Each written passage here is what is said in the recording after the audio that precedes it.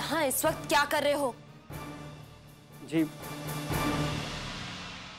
मैं तो बस।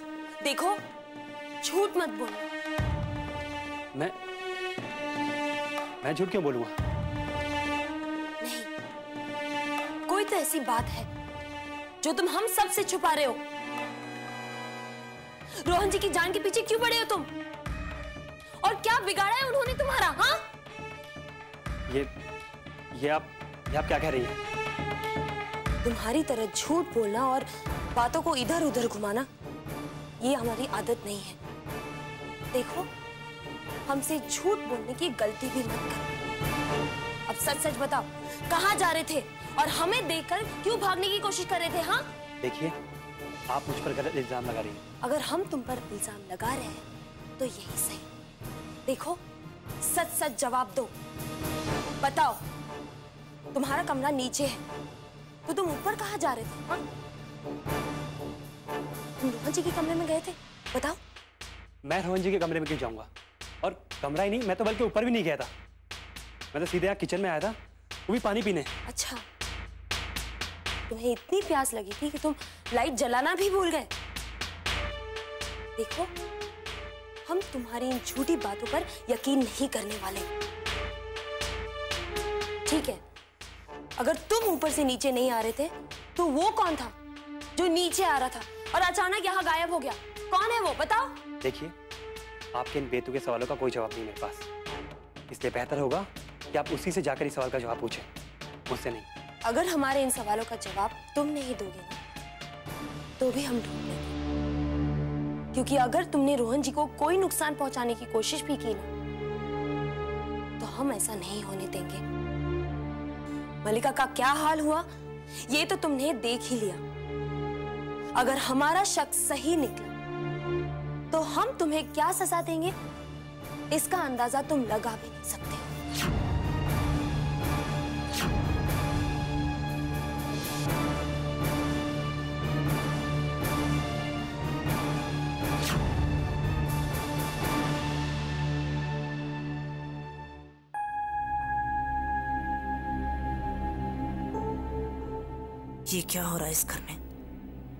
जब से वो बिट्टू आई है इस घर में, ना तो कोई मेरी बात सुनता है और ना ही किसी को मेरी परवाह है। और अब अगर रोहन की शादी पूरे समाज के सामने बिट्टू के साथ हो गई, तब तो उसे इस घर से निकालना और भी मुश्किल हो जाएगा। कुछ तो करना होगा। कुछ तो करना होगा। कैसे भी करके इस शादी को रोकना होगा मुझे। अगर इस घर में मुझे अपना राज कायम रखना है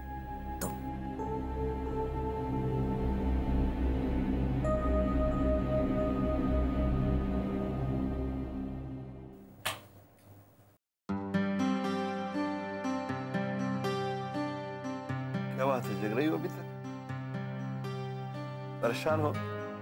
मेरी परेशानी तो आप अच्छी तरह से जानते हैं। फिर ये हमदर्दी का नाटक क्यों कर रहे हैं? अरे भाई इतनी रात तक जगे हुए देखा इसलिए पूछ लिया। मेरी नींद उड़ाकर आपको तो चैन की नींद आनी ही है। पर कम से कम ऐसे सवाल पूछकर चेहरे पर नमक तो मत छिड़किए। क्या चल रहा है तुम्हारे दिमाग में? मैं समझ गया। बहू के बारे में सोच रही है ना? कि कैसे उसने सारे घर में सबका दिल जीत लिया। सब उसकी सुनने लगे, सब उसकी बात मानने लगे। अब कैसे उसे नीचा दिखाकर अपने रास्ते से हटा के अपना राज वापस कैसे जमाओगी यही सोच रही हो? हाँ हाँ। मेरा मतलब वो नहीं है। अब आपको मेरी बातों पर हँसी भी आने लगी। हंस लीजिए, लेकिन याद रखिएगा अगर इसी तरह बिट्टो बिट्टो करते रहे ना तो वो दिन दूर नहीं है जब फूट फूट कर रोना पड़ेगा। अभी तो सिर्फ़ मेरी नींद गई है। बहुत जल्दी वो आप सब लोगों का सुख चैन भी छीन लेगी। मैं तो चैन की नींद सोने जा रहा हूँ कामनी। लेकिन तुम्हें अगर नींद नहीं आ रही है तो मैंने जो कहा है ना उसको और से सोचना। तो शायद तुम्हें भी चैन की नींद आ जाए।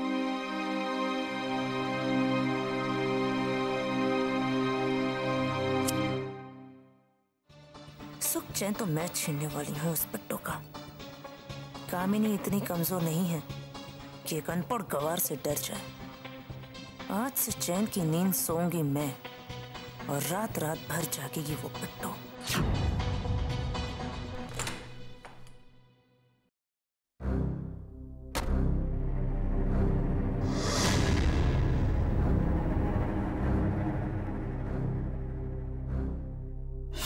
ये मत समझना। कि मेरे जाने से बच गए तुम लोग। पीठ पर वार करने वाला दुश्मन और भी खतरनाक होता है। यह बात से निकलती जा रही है। अगर तुमसे नहीं होता तो मुझे ही खत्म करना पड़ेगा। मैं तो बस इतना ही कहना चाहता हूँ कि केवल खरों से इतना खून थोड़ी बह सकता है।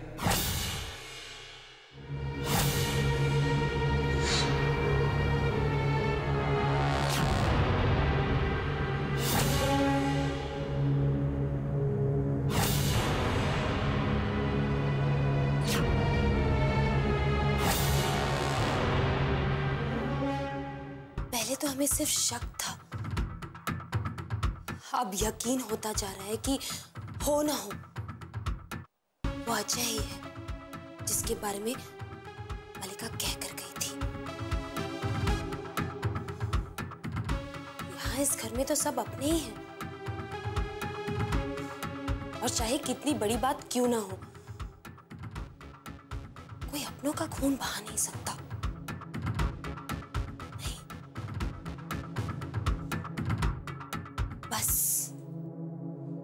एक अजय ही है,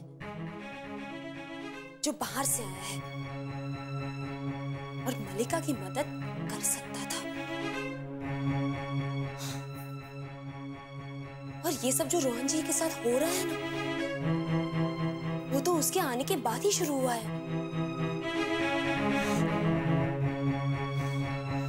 उसके चेहरे पर जो डर और घबराहट भी थी, हमें तो लगता है कि उसके दिमाग पे कुछ ना कुछ गलत चल ही रहा है।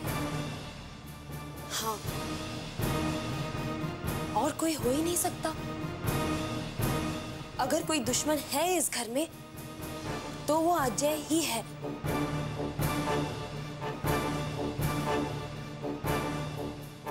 लेकिन अजय की रोहन जी के साथ क्या दुश्मनी हो सकती है?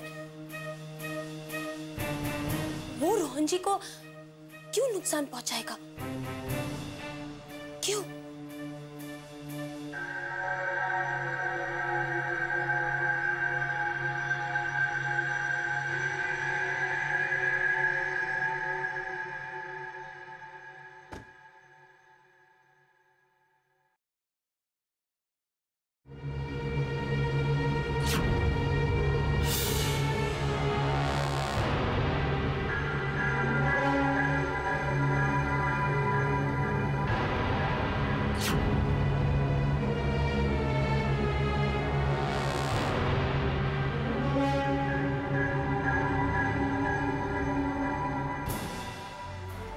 क्या करें? बहुत सोचने के बाद भी हमें इस सवाल का जवाब नहीं मिल रहा है कि आखिर अजय क्यों रोहन जी की जान का दुश्मन बना हुआ है? अब हम ज़्यादा देर चुप भी नहीं बैठ सकते। पता नहीं वो अगली बार क्या कर बैठे। अब हमें रोहन जी को ये बात बता देनी चाहिए कि अजय ही है जो मलिका की मदद कर रहा था। और उनके जाने के बाद भी रोहन जी को नुकसान पहुँचाने की कोशिश कर रहा है। हमें बता चाहिए तू सोई नहीं अभी तक? सब ठीक है ना? नहीं। क्यों है पुत्र जी?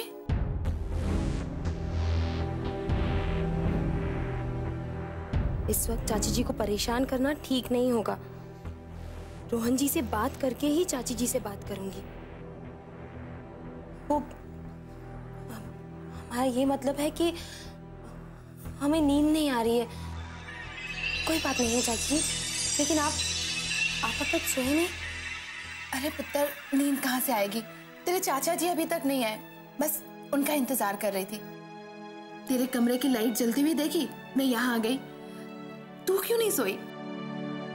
रोहन के बारे में सोच रही थी है ना?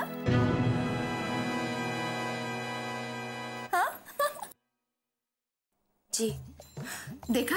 मुझे पता था। ओए पुत्र, ये सिर्फ़ तुझ अकेले के साथ नहीं हो रहा है। ब्याह से पहले ना, सबके साथ ऐसे ही होता है। बड़े सुंदर सुंदर सपने देखते हैं। असल में, ब्याह के बाद जब आँख खुलती है तो बंदा ये कहता है कि अच्छा होता कि हम सोते ही रहते पुत्र जी, जब तक तू रोहन से अलग है ना, आराम से सो ले और सुंदर सुंदर सपने देख। बाकी पुत्र, मेरी तो यही दुआ है रब से कि तेरा सच तेरे सपने से भी ज़्यादा सुंदर हो। और पुत्र, उसके बाद तेरा और रोहन का ब्याह होगा। फिर दोनों एक साथ। हाँ?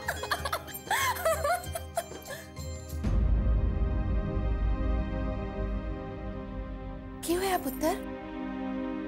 इस प्यारे से चेहरे पे चिंता की लकीरें अच्छी नहीं लगती। ये लकीरें हम बड़ों को दे दे। तर तू दस। क्यों होया बोल पुत्र। तू मुझे नहीं बोलेगी तो तू किससे कहेगी? अगर तू अभी भी नहीं बोली ना, मैं यही मानूँगी कि तू मुझे माँ कहती है, मानती नहीं है। नहीं चाची जी तो जानती ही है कि मलिका जाते जाते क्या कहकर गई थी कि कोई और है इस घर में जो रोहन जी का बुरा चाहता है और उनकी जान लेना चाहता है। आप तो जानती है ना? तो क्या तुझे पता है वो कौन है? हाँ लेकिन हमारे पास कोई सबूत नहीं है। बस हमारी शक की सुई उस पर आकर अटक जाती है हमेशा। जी कौन है वो? तो एक बार बोल फिर देख मैं उसका क्या हश्र करती हूँ। अजय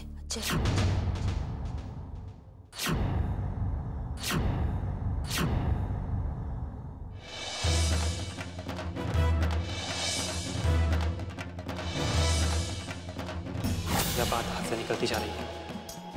अगर तुमसे नहीं होता तो मुझे ही खत्म करना पड़ेगा।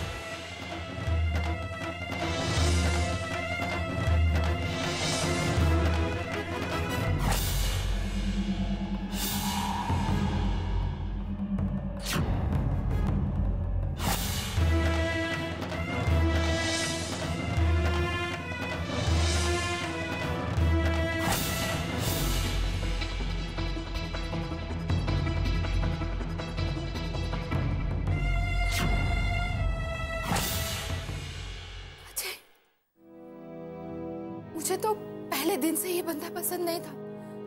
लेकिन मैं क्या करती? उसने भाई साहब की जान बचाई थी ना? कुछ कह भी तो नहीं सकती हूँ। लेकिन पुत्र अगर तेरा शक सही है तो देखना मैं उसके साथ क्या करती हूँ। लेकिन क्या करूँ? भाई साहब भी तो बिना सबूत के नहीं मानेंगे ना? तो अब हम क्या करें चाची जी? कुछ ना कुछ तो करना ही पड़ेगा। पुत्र ये बात तो किसी और से भी तो नहीं कही ना? नहीं मगर हम ये सोच रहे थे कि ये बात रोहन जी को बता दे। शायद उनके पास कोई तरकीब हो सच का पता लगाने की। ये तूने बहुत अच्छा सोचा। सच कहे तो रोहन पुत्र बहुत किस्मत वाला है कि तू उसकी ज़िंदगी में आई है। अब मुझे रोहन पुत्र के लिए कोई चिंता नहीं है। तेरे रहते कोई उसका कुछ नहीं बिगाड़ सकता।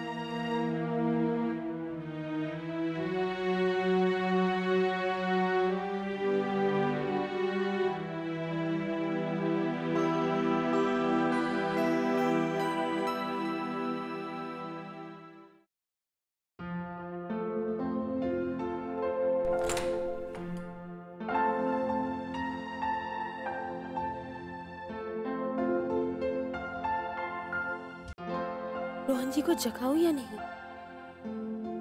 पिछले कुछ दिनों में इतना कुछ हुआ है उनके साथ। अब कहीं जाकर रोहन जी बेफिक्र होके सो पा रहे हैं। मगर हम भी क्या करें? अजय के बारे में भी तो बताना ज़रूरी है। लेकिन कल भी तो बता सकते हैं। नहीं नहीं, हम कल तक नहीं रुक सकते। हर गुजरते पल के साथ ये खतरा रोहन जी के करीब और आता जा रहा है।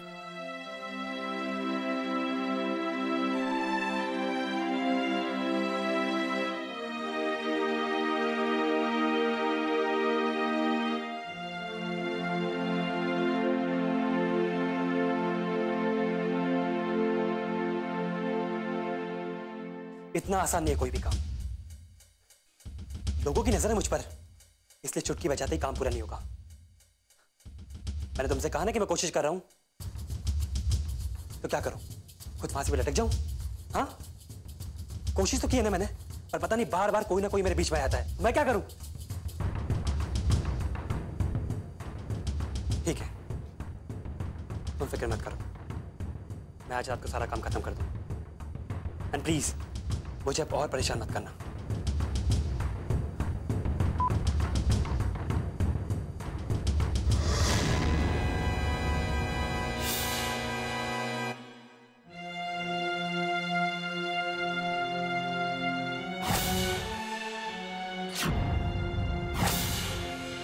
जी की तबीयत वैसे ही खराब है। क्या हम सही कर रहे हैं? इस वक्त इन्हें ये बात बताकर? पता नहीं। कहीं इस बात की वजह से वो और और परेशान ना हो जाए।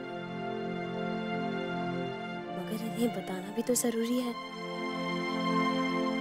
कुछ वक्त तो हम रुक ही सकते हैं। शायद तब तक अजय की सच्चाई खुद ही सामने आ जाए। अभी हम रोहन जी को आराम करने देते हैं। अजय के बारे में हम हम रोहन जी को कल ही बताएँगे।